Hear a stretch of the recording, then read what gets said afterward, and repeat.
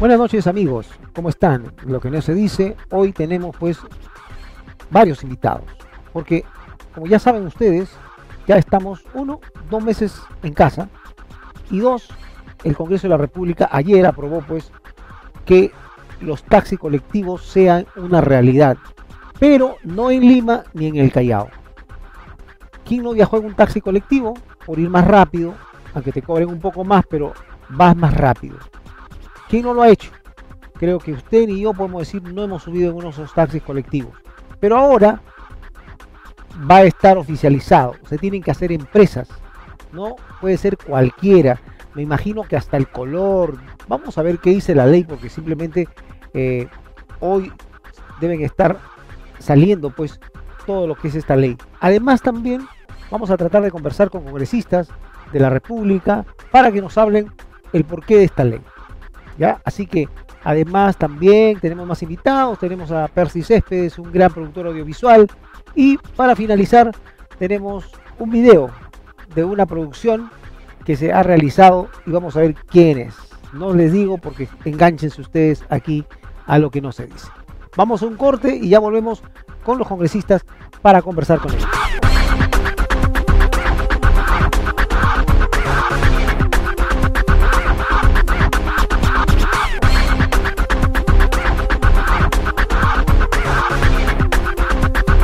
Bien, a esta hora nos encontramos ya en línea con el congresista Luis Simeón, presidente de la Comisión de Transporte del Congreso, a propósito que se ha pues aprobado la ley para que los taxis colectivos sean efectivos ya a partir de que llegue al Palacio, tienen 30 días para que el presidente lo revise y me imagino que si regresa, no lo aprueba, el Congreso lo puede aprobar.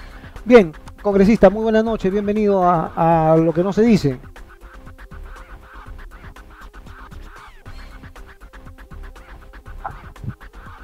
Congresista, buenas noches. Aló, sí, buenas noches. Buenas noches, cuénteme un poco de la sesión del Pleno del día de hoy que se aprobó pues los taxis colectivos. Sí, justamente lo que ya se está mencionando referente eh, que el día de hoy eh, hemos este, tenido un pleno, eh, un debate intenso con la finalidad de poder consensuar, sobre todo este, restablecer los justos derechos de los hermanos transportistas que estaban esperando más de 10 años. También hemos sido muy respetuosos de la recomendación y también de las aportaciones que han tenido varios parlamentarios, ¿no? Entonces, inicialmente era un texto general que comprendía a nivel nacional referente a este tema de la este, que establecía la formalización del transporte terrestre, incluyendo a la, a la categoría N1, como son los taxis colectivos, para poder este, otorgarle ¿no? a estos transportistas la formalidad. Sin embargo, algunos congresistas eh, atinadamente sugirieron eh, sustraer excepcionalmente a Lima Metropolitana y Callao. Entonces, eso así que se ha consensuado, se ha tenido un cuarto intermedio, hemos escuchado, entonces, eh, de manera unánime es de que hemos este, establecido en acoger, ¿no? Y, excluir de, este, de esta ley a lo que es la jurisdicción de Lima Metropolitana y Callao. Entonces, es así que nosotros estamos convencidos y creemos justamente que estos más de 60 días que Acción Popular está renovando su compromiso con el pueblo peruano. Somos de provincia y la única finalidad que estamos es legislando con un criterio objetivo. ¿Por qué digo esto? Porque como presidente de la Comisión de Transportes y Comunicaciones, he evaluado que en este proyecto, que hoy es una ley que se ha aprobado por mayoría, es que se han acumulado como ocho proyectos en el transcurso de los 10 años. Entonces muchos indican de que eso no tiene un sustento técnico, otros dicen justamente de que eso va a ser, este, de repente va a trastocar la reforma de, tránsito. Por ello es importante decir de que en Lima, nosotros somos muy respetuosos de que sí se ha iniciado la reforma de, tránsito, pero no en las provincias ni las regiones. Hay una necesidad con urgencia. Y esa necesidad de poder contar con un servicio de transporte público con estos vehículos del M1 es de gran, gran importancia, no simplemente para los usuarios, sino también tenemos que ver para los hermanos transportistas, donde han sido víctimas por muchos años, víctimas de imposición de papeleta, víctimas justamente de intervenciones constantes, y esto ha conllevado en que estos hermanos clamaban justicia, clamaban de que se les escuche y que se les atiende su pedido. Siempre han trabajado en la informalidad. Si bien es cierto, decimos que en Perú hay más del 60-80% de la informalidad, pero tenemos que dar inicio a un cambio. Yo creo muy respetuosamente, estamos en un Estado de Derecho, respetamos la democracia y también respetamos la división de poderes. Yo creo de que el Congreso hoy ha demostrado una vez más de que está escuchando al pueblo peruano, al pueblo de los hermanos transportistas, donde ellos necesitan realmente tener una formalidad. ¿Para qué? Para que ellos pueden tener ¿no? un sistema también a futuro pensionario, porque estando formalizados pueden aportar a un seguro, también pueden ser sujetos de crédito este, financiero bancario. Entonces, son aspectos que nosotros estamos viendo de, un, de una manera objetiva, porque también en el Perú profundo no hay vías de acceso que puede este, transitar lo que es el M3, que son los túneles. Entonces, hay una necesidad. Esa es una realidad objetiva, palpante, y que muchos congresistas y hermanos congresistas lo han reiterado, lo han expuesto y han hecho ver la realidad de cada región, de cada provincia. Entonces, nosotros creemos y estamos convencidos de haber escuchado al pueblo peruano. Y eso no es una situación de populismo, sino es una situación de derecho. Estamos nosotros consagrando un hecho justo de formalizar a estos hermanos, de que tener un trabajo justamente que dignifica un derecho alimentario que por justicia les corresponde. Yo creo y estamos este, convencidos de que ya está en el terreno del Ejecutivo y esperemos que el Ejecutivo lo tengan a bien poder pues, optar por un criterio tan y sobre todo en bien del pueblo. Bien, congresista, el, el motivo también es una consulta eh, en esta eh, eh, ley que han presentado ya ustedes, que se ha aprobado, ¿están considerando algo sobre la vía seguridad, precisamente que en los protocolos que ahora se están solicitando?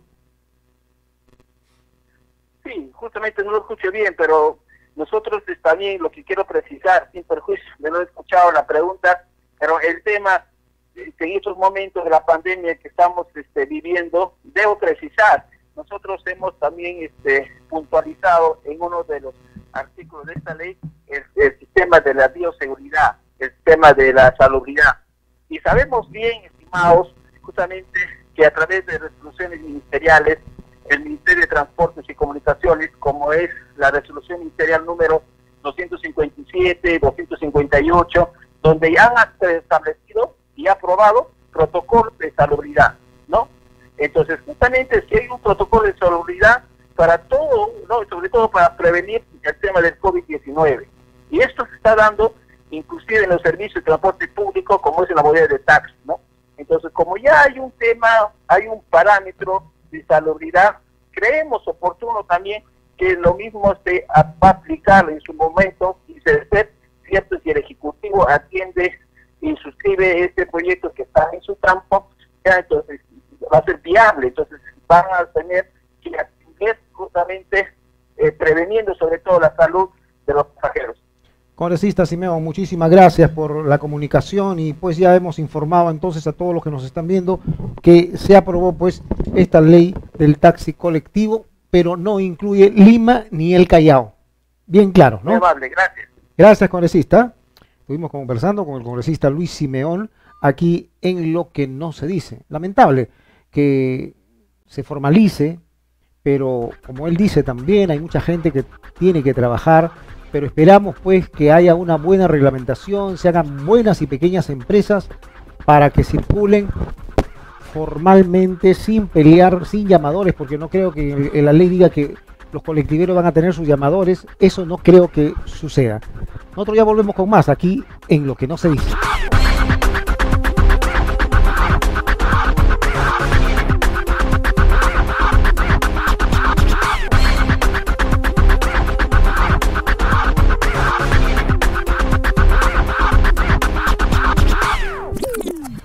Bien, continuamos nosotros aquí en línea. Ya está el congresista Enrique Fernández, que también pues tiene su opinión sobre esta ley que se ha aprobado esta noche en el Congreso de la República sobre los taxis colectivos.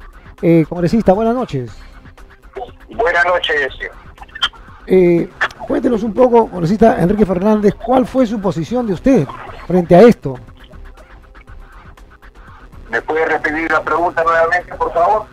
Sí, congresista, le pregunto si, si cuál fue la propuesta que, eh, que usted presentó también esta noche para la aprobación de este proyecto, esta ley ya de taxis colectivos. A ver, este, todo el mundo sabe que yo siempre he estado a favor de la formalización del transporte colectivo y de todo tipo de transporte opiné en relación a los transportes de carga, que no tendría que pasar por ciento de Lima a ciertas horas. Opiné que el transporte eh, interprovincial tendría que tener sus salidas a la, fuera del, del, urbano. Y opiné que el transporte colectivo, que era una necesidad ante todavía no la maduración de un proyecto de, de transporte masivo, también tenía que formalizarse para sacar no solamente el problema de, la demanda que tenía, sino también de una manera ordenada, para evitar que precisamente pase lo que pasa hoy, con el transporte colectivo, lo que pasaba antes de la pandemia y lo que puede pasar después. Este, ahora hay una demanda insatisfecha de, en, relación al transporte. El 90% de los que usan el transporte público lo hace no en, los corredores, ni en el metropolitano, ni en la línea 1. Lo hace en el transporte tradicional en los micros y lo hace donde cubren los colectivos particulares. Si eso no se quiere ver, entonces no se puede entender pues, por qué hay que tomar medidas para que ese trabajo no sea el riesgo que es hoy día, sino de otra manera. esa es la pepa, como, como dicen los periodistas, el problema en cuanto a la formalización.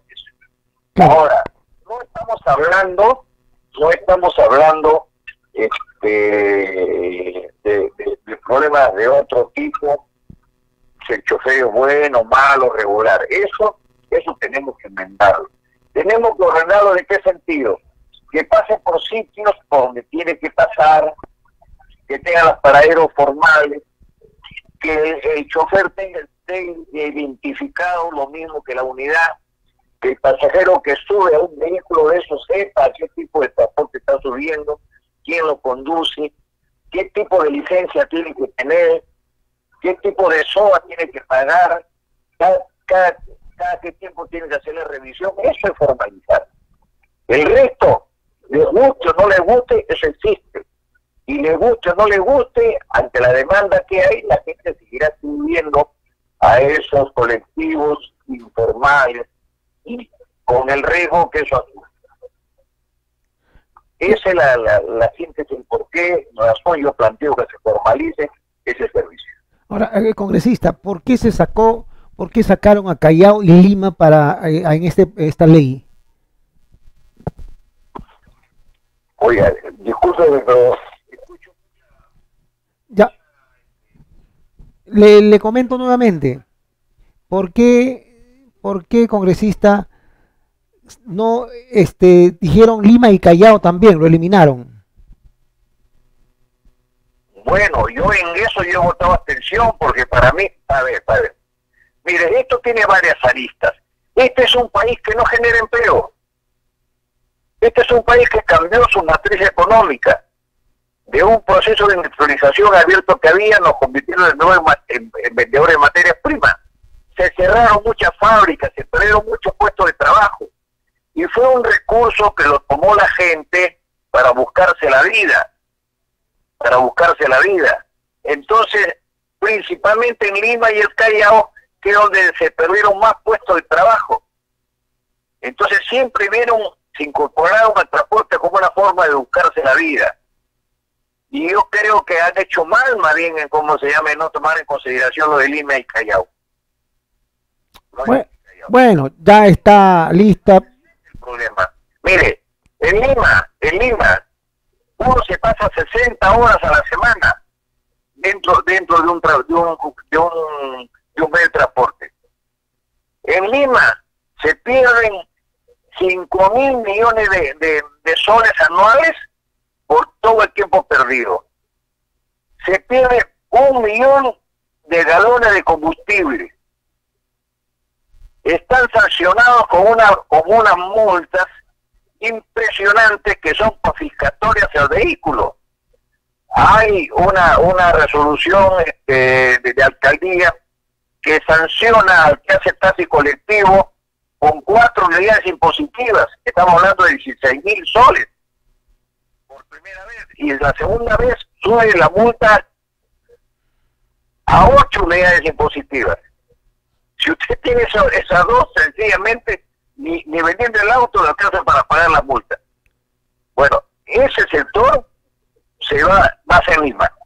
En el interior es una necesidad, dígame. ¿Cómo van? En Lima había dos millones y pico los cerros. ¿En qué unidades suben a los cerros?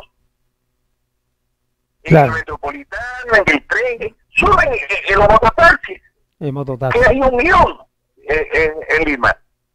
¿Por qué? ¿Por qué cerrar los ojos ante esa realidad? ¿Por qué no atacar los problemas que vemos? De lo contrario se está alimentando más, más- no solo la, informi- la, la informalidad, sino también aparece otro problema ese que tiene que ver con la seguridad de la gente. Bueno, así es. Que yo estoy a favor de eso. Ve, Quiera verlo, ah, ya es problema de él, el problema de él. Pero yo estoy seguro que cualquiera de ustedes ha hecho uso de esos colectivos.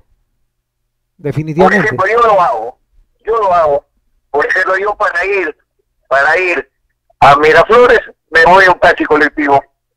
Porque si me voy en, en, en- en un metropolitano o, o- o me voy con, con- con los azules, me demoro tres, cuatro de horas más, Así es. porque son muy lentos. Entonces uno lo toma por necesidad. Nosotros deberíamos tener un sistema de transporte que nos brinde un servicio óptimo, oportuno y seguro, pero eso no existe. Lo otro, yo siempre lo tomo como una transición. ¿En qué sentido? Que conforme vaya madurando los proyectos de transporte masivo, irá desapareciendo la necesidad de, recurrir a este tipo de, de servicios. Entonces ahora todo depende de la velocidad con que se haga hasta la cosa. Si vamos a ir a la velocidad que se hizo eh, la línea 1 del tren, que demoró 25 años hacer eso, entonces siempre vamos a tener el problema. Así, es- así lo veo yo.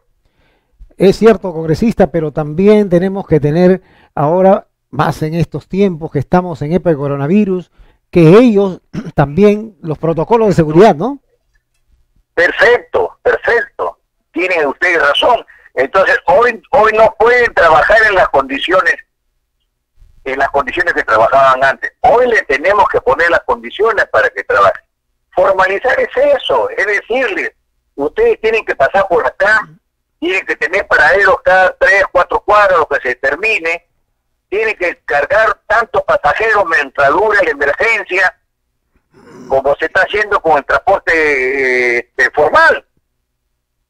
Con una diferencia, con una diferencia, que los que se buscan la del colectivo pasan a ser los pobres de hoy que necesitan un bono, mientras que nosotros lo subvenciona el Estado con 4 millones de soles semanales.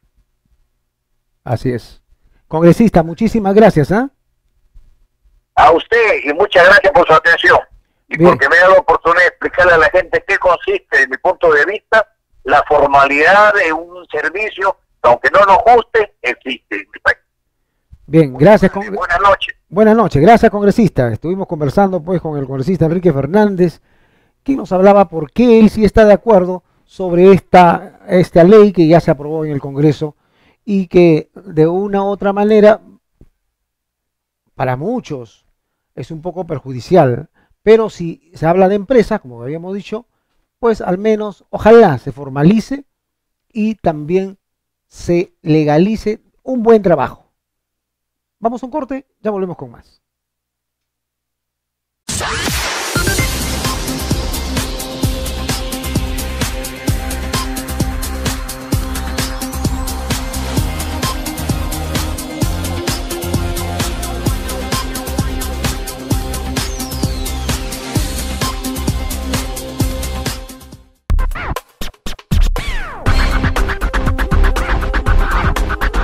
Bien, y continuamos nosotros aquí en lo que no se dice el día de hoy y vamos a conversar, como dijimos al inicio del programa, con un gran productor audiovisual, ganador de los de cuatro premios MTV, eh, nominado a Latin Grammy y es peruano. Me refiero a Percy Céspedes que ya está con nosotros porque nos tiene unas noticias buenas, pero vamos a conversar con él porque es importante precisamente en estos días de cuarentena. Percy, buenas noches, bienvenido a lo que no se dice. ¿Qué tal? ¿Cómo, estás? Muchas gracias por la invitación. Bien, Percy. Bueno, tu carrera va siempre hacia arriba.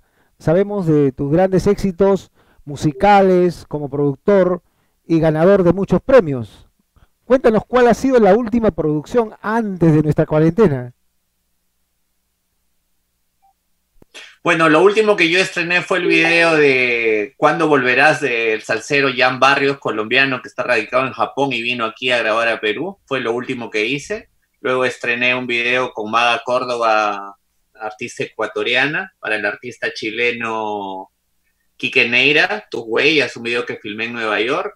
Este, para el artista mexicano Paulino Monroy, que vino acá a grabar este, la canción Alaska por parte de Warner Music y Reptilian Song que hice para el artista nacional Astronaut Project. Esos fueron los últimos trabajos que yo estrené antes, antes de que sucediera toda esta cuestión de la pandemia. Bueno, pero sabemos también pues que tú, como lo has, dicho, no solamente has trabajado con um, gente peruana, músicos peruanos, sino también internacionalmente. ¿Cómo te inicias tú? Porque muchos sabemos de la carrera, de los éxitos, pero siempre no tiene un principio. ¿Cómo se inicia? A ser productor eh, televisivo, de audiovisuales? Bueno, a mí yo siempre tuve una necesidad de expresión súper fuerte. Entonces yo la verdad quería ser músico, ah, pero dándome cuenta lo complicada que era la realidad del músico nacional y las pocas oportunidades que tenía, yo también tenía una cuestión audiovisual muy fuerte y decidí volcarme a la realización de videos musicales para desarrollar esa área en este país que estaba descuidada y meterme de lleno a profesionalizar la rama de la producción de videos musicales en el Perú. Entonces ese siempre fue mi objetivo, profesionalizar esa área, ¿no? Eso quiere decir que tuviste un nicho vacío ahí de repente y dijiste vamos a capturar ese nicho para que sea pues todo un éxito para los artistas, porque la visión es para ellos. Muchos, muchos no hablan del detrás de cámara, ¿no? Así es, o sea, lo hice por una, cuestión, no fue, un, no fue un plan estratégico así maquiavélico de agarrar un nicho, sino fue básicamente porque yo soy un coleccionista de videos. Entonces, por el cariño que yo le tengo al género, yo veía el descuido que había en este, eh, de este género aquí en el país y realmente ese cariño de coleccionista, ese cariño de admirador de la videomúsica y de melómano empedernido me hizo meterme, pero ya con este chip que traía yo de nueva generación de querer impulsar y desarrollar algo en mi país que estaba descuidado, ¿no? tengo que ser súper honesto en decir que fue una cuestión de cariño lo que me hizo entrar a esto. ¿Y cómo fue el primer video? ¿Con quién lo hiciste? ¿A quién le dijiste? Los primeros videos, pues, los primeros videos pues eran súper complicadísimos. ¿Cómo le haces entender a un artista sin tú haber hecho nunca un video de que confíe en tu trabajo? Entonces, para eso, si tú no coleccionas unos 5, 6, 7 primeros trabajos, no tienes lo que nosotros llamamos un reel para mostrarle a la gente que confíe en ti. Los primeros años fueron súper duros, súper duros, porque te llegaba un artista que hacía latín, otro que hacía rock y no tenían nada que ver entre ellos y decían, pero si tú haces sal, si tú haces latín no puedes hacer rock, si tú haces rock no puedes hacer pop, y no se dan cuenta que uno con la educación audiovisual suficiente puede agarrar todo el espectro de música, ¿no? Y así pues con los años llegué a trabajar todo tipo de música. Yo he hecho pop, rock, salsa, latín, urbano, electrónico, folclore, criollo, alternativo, porque realmente, como te repito, mi meta era desarrollar el espectro y como tú lo has dicho, era una forma de ayudar a los artistas. Como tú dices, efectivamente, el trabajo del director o el que está detrás de cámara casi nunca es visto, ¿no? Mi caso es súper particular quizás porque siempre el que tiene lienzo en blanco, el que da el golpe primero, dicen que golpea dos veces y tienes el como que marcas las pautas de lo que puede pasar. Y en estos 20 años de carrera, pues los primeros 10 me la pasé ordenando y haciendo protocolos de cómo tenía que llevarse esto a un nivel profesional y los siguientes 10 años expandiéndolo a nivel Latinoamérica, ¿no? Han venido artistas de todas partes de, de Latinoamérica para filmar con nosotros, de Ecuador, de Colombia, de Chile, de Venezuela, Puerto Rico, Panamá, Estados Unidos, España, México, y convertir poco a poco eh, la manufactura de este tipo de trabajos aquí, hechos íntegramente en el Perú, que sean competitivos a nivel internacional, ¿no? Entonces, eso ha sido básicamente eh, el core de toda esta carrera que yo he tenido desarrollando esto en el país. Qué excelente, ¿no? Saber que, bueno, tú has sido uno de los pioneros de llevar pues todo lo que es eh, la producción audiovisual de muchos artistas, como bien has dicho, y de los peruanos, ¿cuál es el que más has trabajado o te ha dado mayor trabajo en hacer un video, porque no es de un día para otro hacer todo un trabajo de un musical. He tenido la suerte de trabajar con todo tipo de artistas, desde los más desconocidos hasta los más conocidos, desde los nuevos, los antiguos, los de provincia, los de Lima, los que ya no radican acá. Por ejemplo, he trabajado con Gianmarco, con Pedro Suárez Vértiz, con TK, Lívido Zen, Vos, Ni Vos Ni Voto, Cementerio Club, Ana Karina, Julio Andrade, Julie Freud. Trabajó con una gran, Adamo, una gran gama de artistas, ¿no? Entonces, el más difícil siempre es difícil, porque realizar un video musical en el país es una cosa titánica, ¿no? Que nos involucra a todos los que estamos metidos en esto, o sea, es uno de los medios más golpeados, menos, menos, menos, menos valorados y sobre todo que mm, le cuesta mucho trabajo a un artista, puesto que a diferencia de otros sitios eh, que son financiados por disqueras transnacionales y meten el capital, aquí el artista tiene que bancársela solo y es una inversión mucho más reducida de la que puede hacer pues una transnacional, así que el nivel de competencia es muy difícil yo realmente mando un saludo a todos los realizadores de este país que se dedican a esta área porque sé lo sacrificado y lo complicado que es. Imagínate lo complicado que va a ser dentro de esta coyuntura ahora. Todavía, ¿no? Ahora, ¿qué tiempo tienes tú haciendo eh, realización audiovisual? 20 años. En estos 20 años, lógicamente que todo ha cambiado. La edición no era tan digital como ahora lo tenemos, era un poco más trabajosa, digamos, ¿no? Claro, yo he pasado de la era analógica, he pasado, mira, empecé filmando en VHS, pasó al digital, luego este, entré al cine, pasé al cine digital y ahora es absolutamente todo digital. Y en esos años han cambiado máquinas, presupuestos, procesos, protocolos. He vivido toda la transformación de eso, ¿no? O sea, ha sido no te puedo negar, también ha sido agotadora, porque cada dos o tres años había que cambiar otra vez todo el sistema y adecuarse a las nuevas tecnologías, a los nuevos formatos y últimamente a las redes sociales que han cambiado completamente el juego, pues, de la promoción, ¿no? Antes tú tenías que pasar la vista de un programador para poder ingresar a un canal internacional y ya eso nomás era una barrera fuertísima que logramos romper con mucho esfuerzo. Hemos tenido más de 40 videos este, estrenados en canales internacionales, 40 número unos. Entonces, eh, pero eso pasó a la libertad de YouTube, ¿no? Al, al, hecho de poder programar tus propias cosas en redes. Y por eso es un poco que también, o sea, veo que en esta coyuntura que estamos viviendo de la pandemia, una de las soluciones o vías de escape alternas que tiene el artista que va a estar paralizado en todo este tiempo es volcarse a lo digital, ¿no? Es, es todos vamos a tener que reaprender a reorientar nuestro trabajo a la cuestión digital.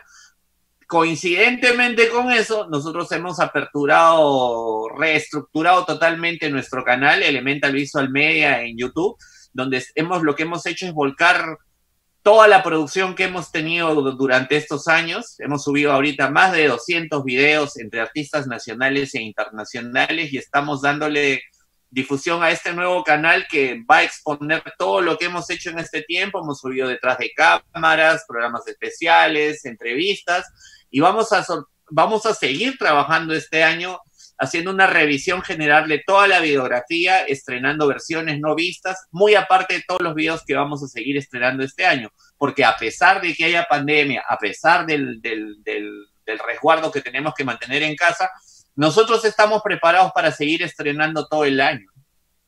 Claro, y también ir produciendo, porque ya se va a poder producir lentamente, lógicamente, pero eh, que haya nuevos, los nuevos valores o los cantantes, con una, una promoción de videos nuevos, porque no, la música no puede parar, ¿no? Así es, y mira, le voy a dar este consejo siempre a la gente. Hombre precavido vale por dos.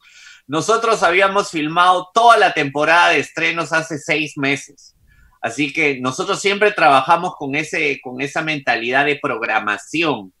Trabajamos los videos que vamos a hacer el, 2000, el 2020, los hicimos el 2019. Ahorita estamos pensando en qué va a venir el 2021. Así que nosotros tenemos listo un colchón de trabajos ya para ese estreno, ¿no? Siempre, siempre he pensado que es bueno tener un plan B bajo la manga siempre, ¿no? Y mira que nos coge en esta situación y justo nos coge armados, ¿no? Bueno, en el caso de ustedes es excelente, ¿no? Pero ahora, esto que tú estás lanzando y abriendo un poco, que tiene 10 playlists en el canal, como dices, con más de 200 videos, ¿está abierto para todos los que son tus clientes o también estás invitando a clientes nuevos?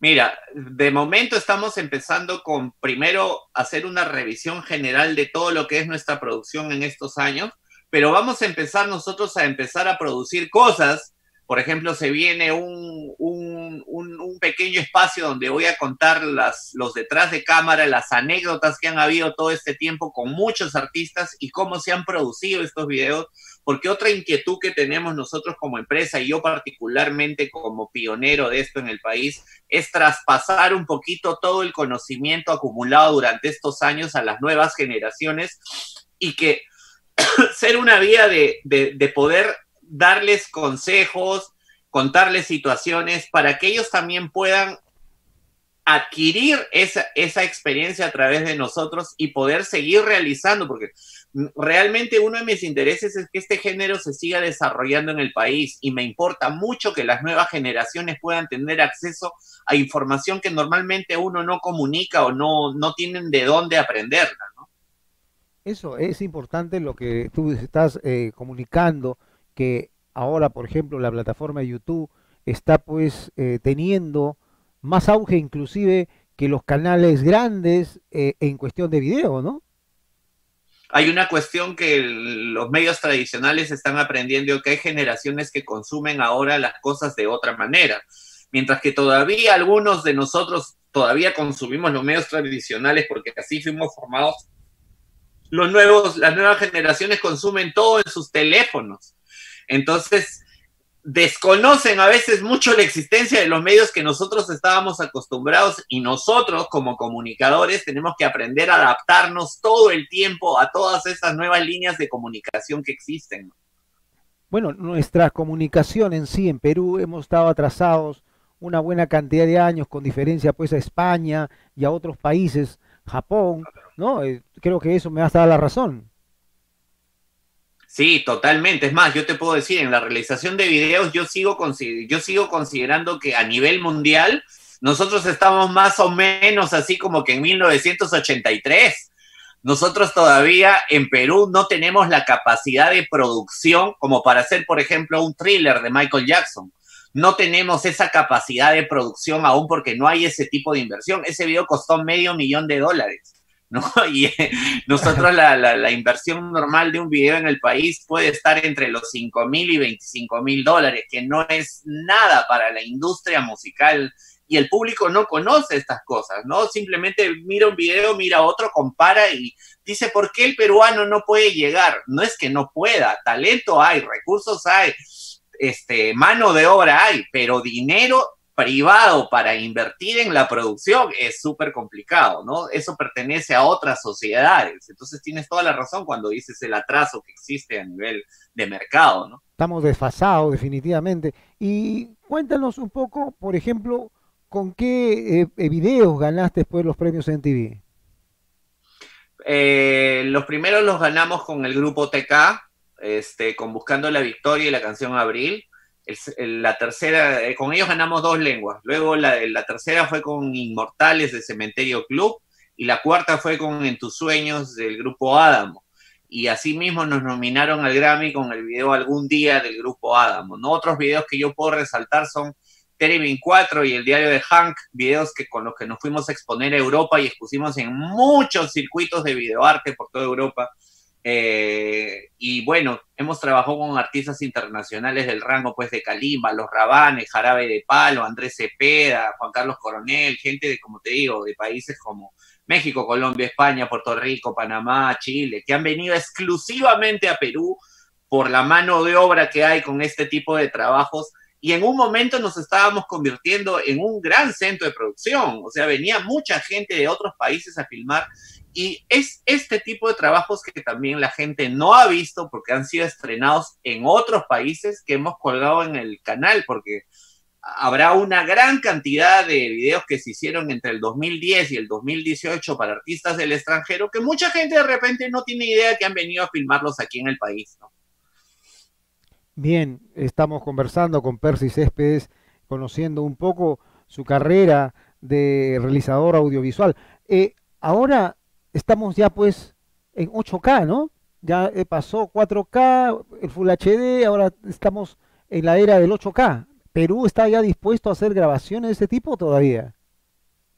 Sí, pero yo, yo siempre, escucha, yo siempre, yo siempre tengo más alma de artista que técnico, ¿no? Entonces yo digo, la gente no se tiene que rayar tanto. El ojo humano, para empezar, no mira ni siquiera el 8K ni el 4K. El ojo entrenado no va a mirar más allá de la resolución normal. Así que yo nunca me he hecho mucho problema con, el cambio a, a mayores calidades de imagen porque también soy consciente de lo que el artista nacional puede invertir y trato de ser súper responsable con eso. Entonces, muchas veces me importa más generar la dirección artística per se del, del músico o la banda que estar preocupándome en la ultra calidad de imagen, porque al final lo que tiene que hacer el artista es trascender a la pantalla y gustar por la propuesta, por el rollo, por la música, por la personalidad, por lo que llenas dentro del público, más allá de la calidad técnica específica. Aparte, yo soy de los que piensan que tú, eh, el talento detrás de cámara no te lo da el equipo, es el personal que está detrás con su talento. El equipo tú lo puedes reemplazar por una cámara súper sencilla como una cámara súper compleja. Al final, el bisturí no hace al cirujano. Claro, todo está en la edición también, tener una buena edición para el efecto visual, ¿no? Mira, la, la edición es el 50% del video musical. Por eso yo siempre me encargo personalmente de mi propia edición. A pesar de que durante muchos años he trabajado con asistentes que me han colaborado muchísimo en eso, yo termino siendo el que edita el video porque le imprimo esa cuestión musical. Es como pintar un cuadro. Tú puedes preparar, te pueden preparar las pinturas, te pueden preparar el lienzo, pero el artista también me contrata porque quiere que yo le dé el trazo a las cosas, ¿no? Y hay cierta me involucro tanto yo con los artistas porque tengo una fijación y una necesidad también de expresión musical, que justamente como tú lo estás diciendo, sucede en el momento de la edición. Así es, así es. Bien, Percy, e, Elemental Visual Media lo ubicamos pues en YouTube, ¿no es cierto? Como así, Elemental Visual Media. Ponen Elemental Visual Media y el que no se acuerde, pone Percy Céspedes y le va a aparecer Elemental Visual Media. Ingresan al canal y van a encontrar más de 200 trabajos, como te digo, clasificados en la cronología completa de la empresa, artistas que rotaron internacionalmente, me refiero a los peruanos, trabajo para artistas foráneos, trabajos para artistas que en la onda latín, hay videos que yo hice en Horda de pequeños cortometrajes que también está ahí, hay entrevistas detrás de cámaras, programas especiales, promocionales, y pronto, ahora en junio, arrancan los estrenos. Excelente, excelente. Como tú dices, el music video es el DNI audiovisual de los artistas. Así es, desde 1981 está comprobado que es una de las armas de marketing más poderosas que tienen para amplificar su concepto, para llegar a un fan base, para influir en un auspiciador, para llegar a masificar su producto a una gran cantidad de público, sobre todo ahora que ya no hay las barreras de un canal y que ellos pueden colgar sus trabajos en redes, se les facilita muchísimo el hecho de poder transmitir e influir con su imagen en el público, ¿no?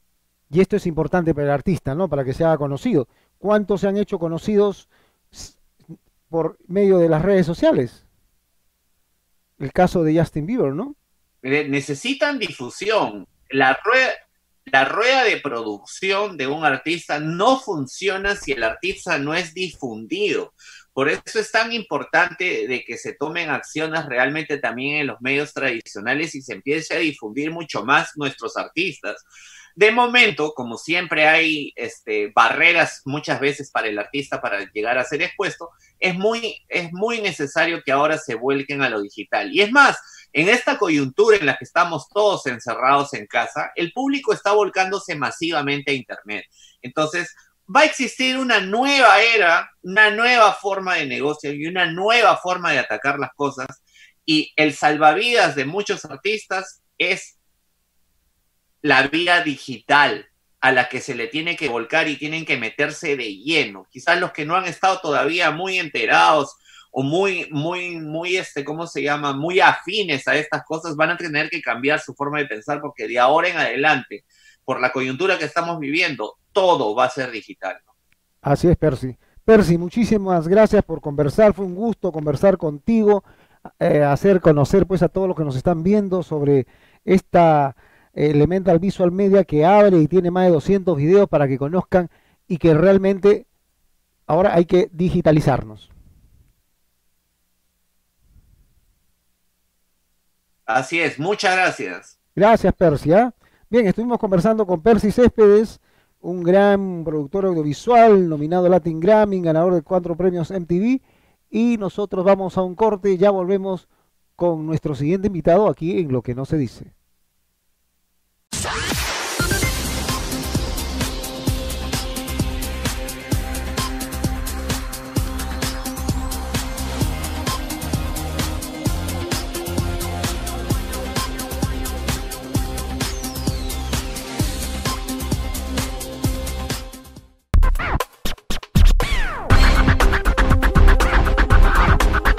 y continuamos nosotros aquí en lo que no se dice el día de hoy. Vamos a conversar con un amigo porque ha sacado un tema que todo el continente, todo el mundo, por no decir, ha grabado esta canción que se ha vuelto un himno en estos días de pandemia mundial, en estos días de cuarentena, en estos días de que no salgas de casa. Creo que lo que estamos haciendo, no solo quienes lo lanzaron en España, precisamente el dúo dinámico, sino que en diferentes países se ha grabado versiones, hay diferentes versiones.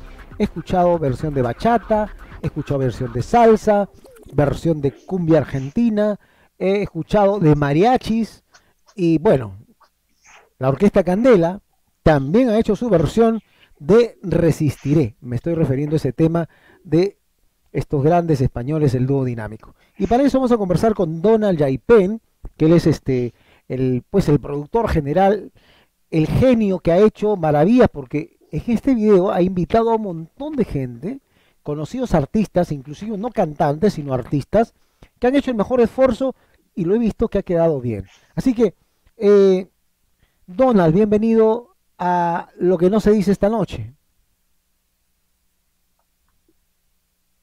Hola, ¿qué tal, amigo Walter? ¿Qué tal? Bueno, muy agradecido nuevamente eh, por, la, la invitación y bueno, así poder llegar a todo tu, público.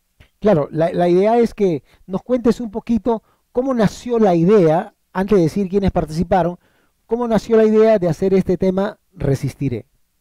Versión.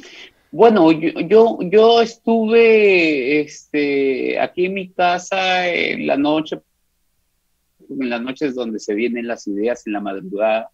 Entonces, este, me puse a, revisar YouTube y, vi una, este, la versión original justamente de casualidad. Vi la versión original, este, que es la, la, la española. Este, me puse a analizar, me puse a analizar y, me entró bastante nostalgia.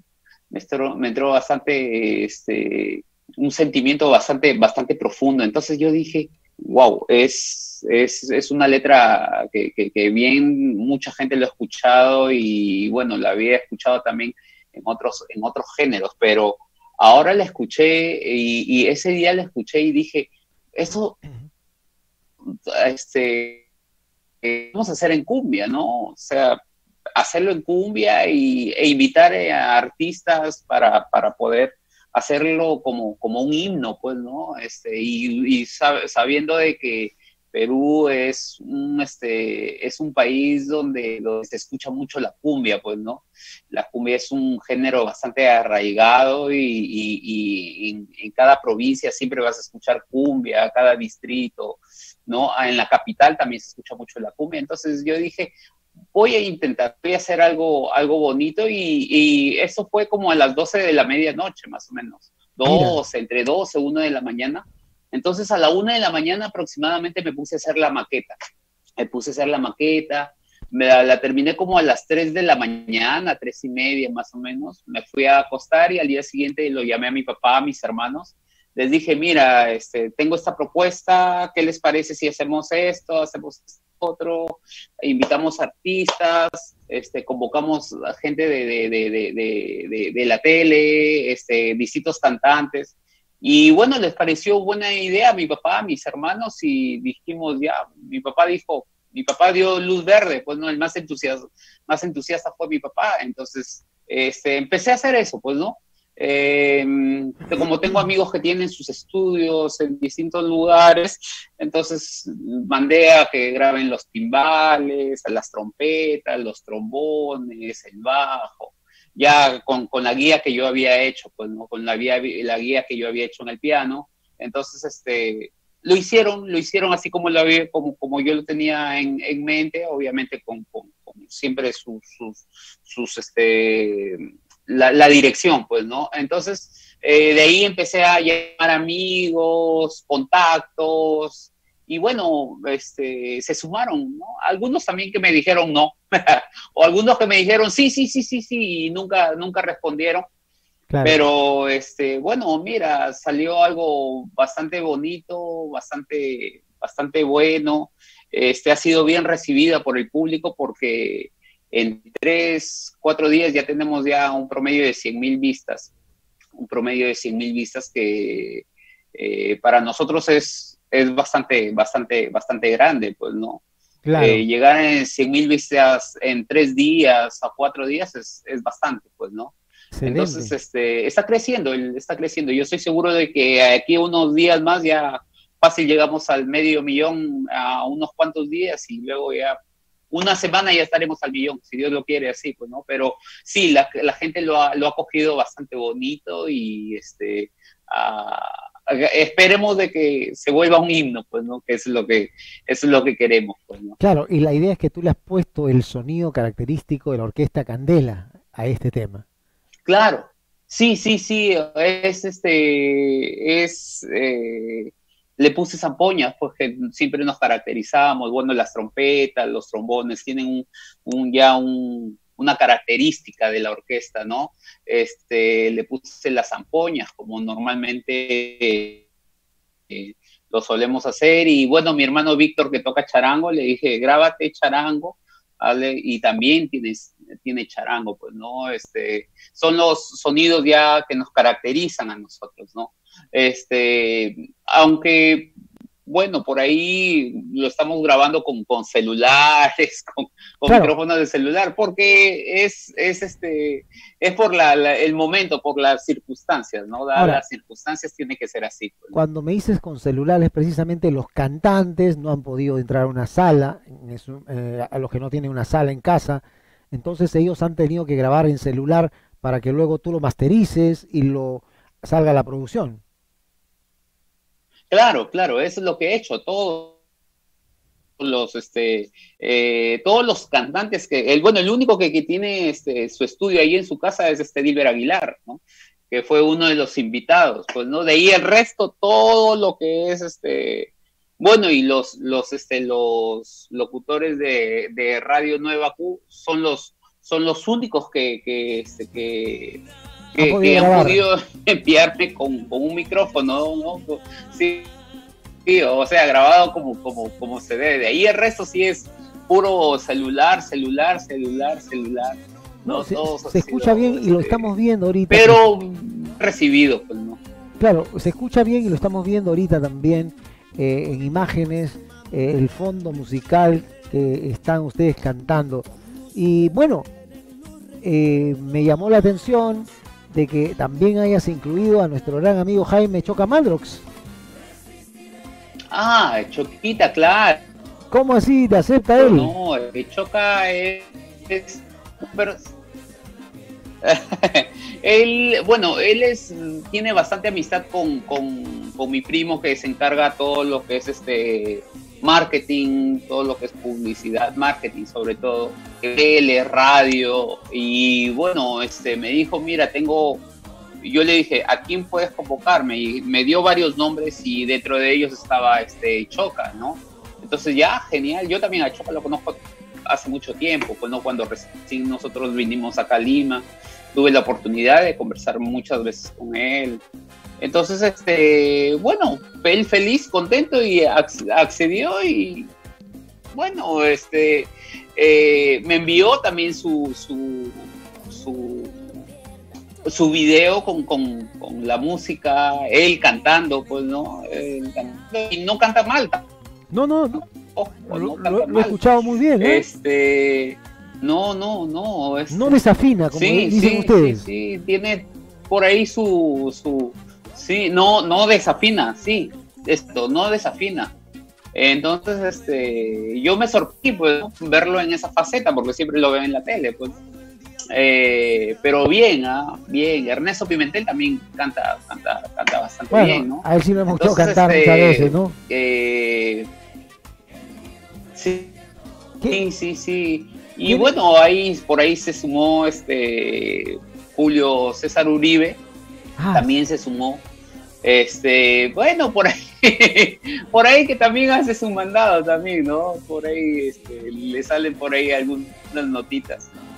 Bueno. Pero este, bueno, salió algo, algo bonito. Eh, se sumaron, bueno, yo lo quise hacer así, ¿no? Con, oh, tenía, pudieron dar este, pero bueno, de ahí convoqué a mi, a mi primo de Hermanos de Aipepen, a Pedro Loli de Grupo 5, a este, Víctor Romero de Agua Marina, este, a Dilber Aguilar, convoqué a este a bueno a los de la radio, pues no, Radio Nueva Q, este Sierra, Cris este, Stephanie Valenzuela, bueno, bien, Stephanie Valenzuela, que ahora ya está. Eh, edité todo, hice todo, eh, todo el proyecto es así de, puras voces, voces, voces, voces. Hay como, no. como 15 voces más o menos. Aparte que yo también hago voces, hago primera, segunda, contralto. Excelente, excelente el trabajo. Y más que todo, lo has hecho, me parece, en una semana, por lo que me cuentas, la rapidez lo hiciste en la madrugada, lo pasaste, grabaron los músicos y al toque pasaste la pista y comenzaron a grabar. ¿Duró una semana o algo más? Sí. No, este, yo tenía en la cabeza otra, otra idea, otro proyecto. Este, pero se la comenté a un, a, un, a una persona y este, esta persona también me echó la idea y dijo, yo, yo, yo la hago. Pero ahí, fue donde, donde, donde demoré un poco de tiempo porque me tuve esperando este, como una semana, no tuve ningún tipo de respuesta de él. Este, ya di, como no tuve respuesta de él, yo empecé a hacer, yo dije, no, le dije a mi papá, vamos haciendo nosotros, vamos haciendo nosotros, porque el proyecto era otro también, pues, ¿no? Pero como no, no tuve iniciativa, ya, ya, pero lanzamos nosotros y la otra persona pum, lanzó también una versión de ellos. ah, ya, él sacó, la, sacó la idea. Porque han salido un montón, a un montón de versiones. Sí, te sacó la idea. Sí, sí, sí. O sea, comenté y sí, sí, sí, sí. Pero es, es, así, lamentablemente, este, como lo, lo, el tema nuestro, nosotros no podemos, este, no podemos imponer ni podemos este, hacer ningún tipo de, de, ah, ningún proceso ni nada, pues porque no, no, no tenemos la autoridad. A pesar de que la canción, a pesar de que la canción la han, la han, puesto allá en un canal este, eh, español, claro. en un canal español, porque la, la sí, el, el tema nuestro lo han, lo han, este, lo han pasado ahí en un canal, en un canal español, no me acuerdo qué canal es, este, por eso no sé si, si has tenido la oportunidad de ingresar a ver el video. Cuando ingresas el video,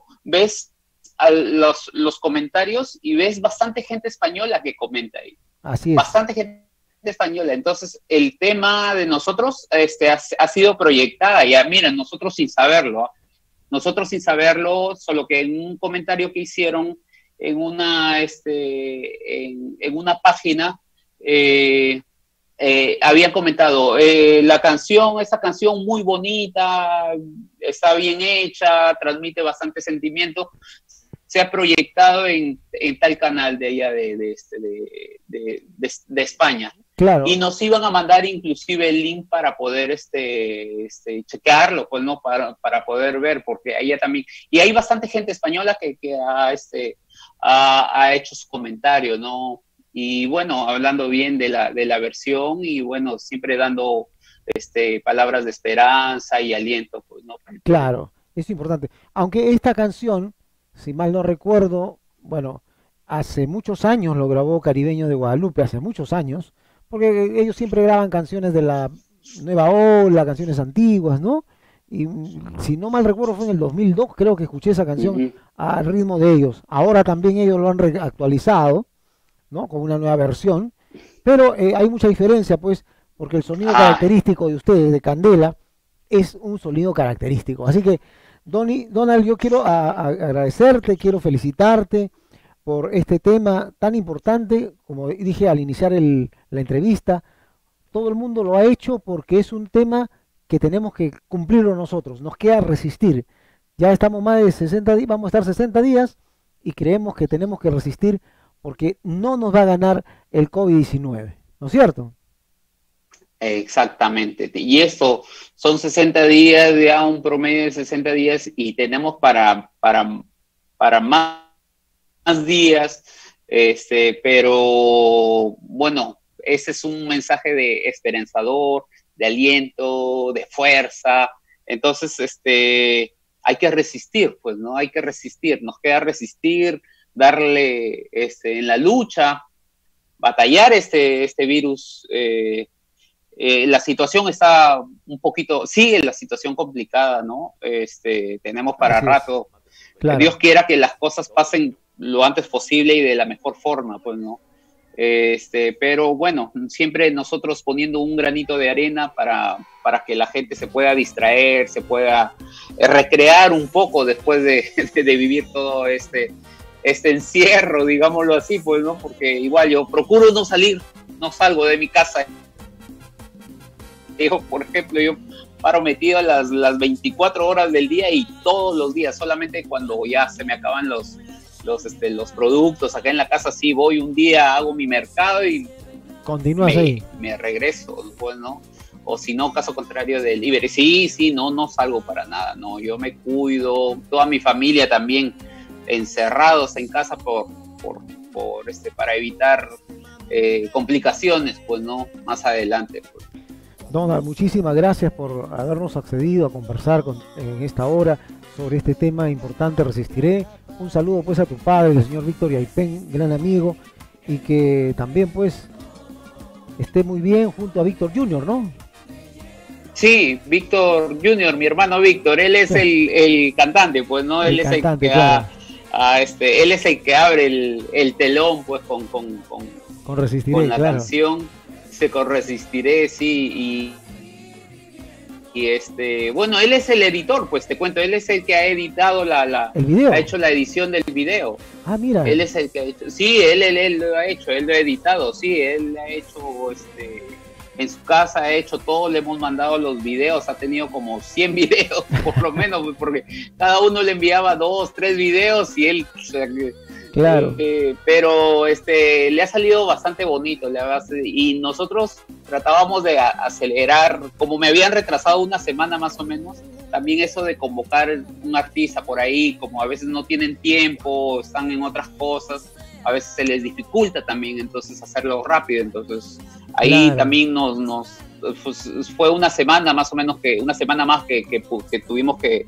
que, esperar, pues no, pero ya este, queríamos lanzarlo lo antes, lo antes posible, pues porque el, proyecto y la canción estaba bonita. y todos los que a todos los que enviaban la, música me decían está espectacular está magnífico todos me daban la la la, la, este me decían que el tema estaba pero espectacular estaba muy bonito me dicen este tema va a pegar fuerte fuerte así es así es para terminar, ¿y tú los párrafos de las está canciones? encaminándose. Los párrafos de las canciones tú le enviaste o cada uno escogió su párrafo. No, no, no, yo armé todo, yo armé todo. Ah, ya, ya, ya, perfecto. Yo armé todo, sí, yo armé quién debería de hacer, sí, yo, este, ah, tú vas a hacer esta parte, tú vas a hacer esta parte. Por ahí, amigos también cantantes, tú haces segunda, tú haces esta parte eh, les, envié cómo deberían de hacer las voces, todo eso, sí. Este, por ahí unas una amiga también, le digo, tú haz el, el, falsete, haz una voz arriba, yo también hice una voz grave ahí abajo que, tiene de fondo como colchón para que, para que ahí se sostenga la primera y los contraltos y aparte un un falsete, y eso, las pautas, cómo deberían de hacerlo, y mira, y salió algo, algo bastante bueno. Excelente, Donald. Bien, gracias por estar con nosotros, pero no nos vamos a despedir. Si te dejo para que presentes el tema y todos lo vean, pues este tema resistiré con la orquesta Candela y sus invitados. Muchas, Walter, eh, muchas gracias, amigo Walter. Este, bueno, para toda la gente, un, para toda la gente con mucho cariño es, les presento esta canción que significa mucho a nosotros, para todos los peruanos. Se llama Resistiré en la voz, la voz de mi hermano Víctor y de Orquesta Candela. Y bueno, con todos los, los artistas de cumbia, salsa, artistas de televisión y deportistas. Véanlo. Resistiré, de Orquesta Candela, Víctor Yaipen. Ya suman más de 50.000 infectados en todo el Perú. Dios, dale esfuerzo que resistan. ¡Resistiré! ¡Resiste Perú! Porque juntos sí podemos.